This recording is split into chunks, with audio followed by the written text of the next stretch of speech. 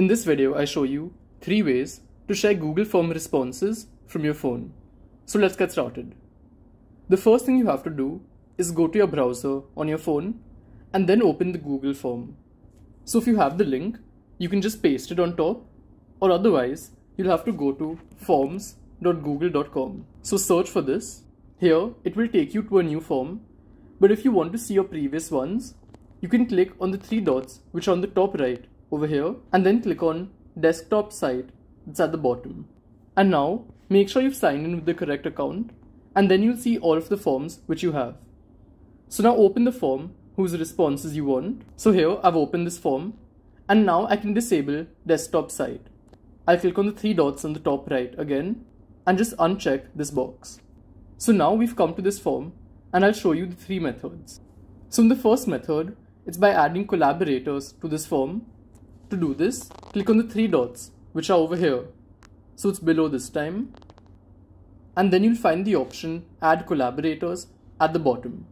So click on it and here just add the email IDs of the people who you'll want to share the form with.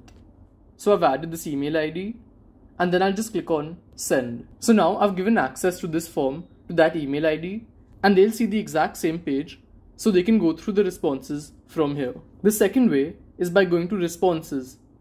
The second way, for the second method, go to the responses page that's here and then it's by printing the responses.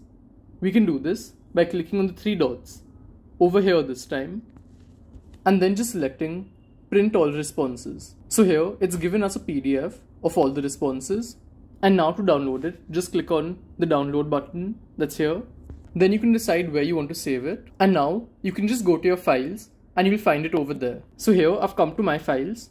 Then under recent, as you can see the PDF has come here. So I can just long press on it and then just click on share that's at the bottom. And these are all of the ways that I can share this with others. And now the third method is by linking the responses to a Google Sheet and then sharing access to that sheet. So to link the responses, just click on the Google Sheets icon that's over here. You can rename the sheet if you want and then just click on create that's on the top right.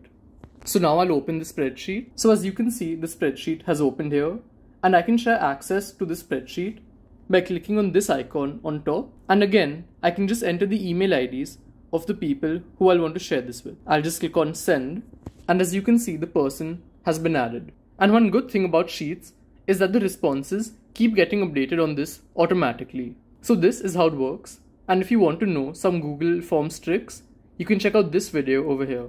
That's it for today. Goodbye.